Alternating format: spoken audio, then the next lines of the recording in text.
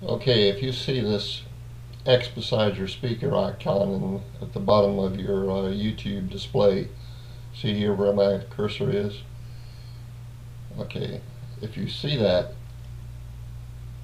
see there'll be no volume because it's muted. That's what that X means.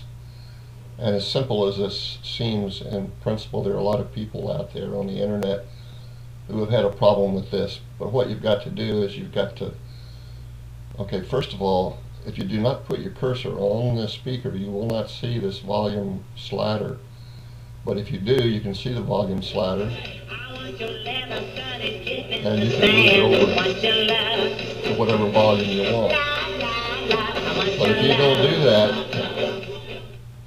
in other words, if you're just looking at this picture, you're saying, where's my volume on my YouTube? Well, you got no volume. And the reason is because they've hidden the volume uh, slider control, you got to put your cursor on the speaker and then you've got to adjust the volume. But once you do that,